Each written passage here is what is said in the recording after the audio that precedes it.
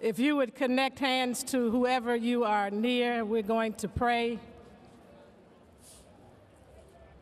God of our weary years, God of our silent tears, God who has brought us thus far on the way. Lord God, we thank you that you continue to be with us through every situation and circumstance. We bless you, Lord God, for this great, august body of people who have assembled here at the Lincoln Memorial 50 years later. We thank you, God, that the Spirit that inspired those 50 years ago yes. is inspiring us today, Father. We are determined to continue the struggle. As my mother said, struggle is a never ending process, freedom is never really won. You earn it and win it in every generation.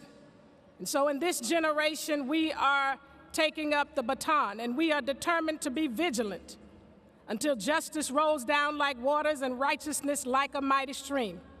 We pray even now, Lord God, that you would bind us together like never before regardless of our backgrounds, yeah. even regardless of our differences, Father God. Give us the strength and the courage and the humility yeah. to transcend those differences, Father, that we might be able to join together as a freedom force to continue to move this nation and this world toward creating the beloved community and ultimately the kingdom of God.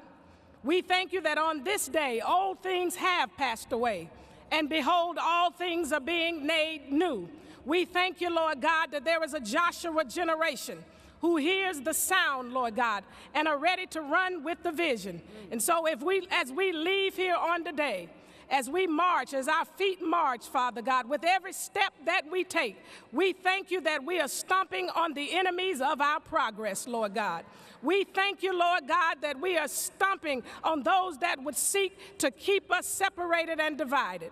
We thank you that we are stomping against discrimination and inequality. We thank you that we are stomping against violence and crime. We thank you that we are stomping against those who think they have the audacity to stand their ground, Father God, to take life senselessly, Lord God. But we thank you as we stomp that the stand your ground laws are defeated.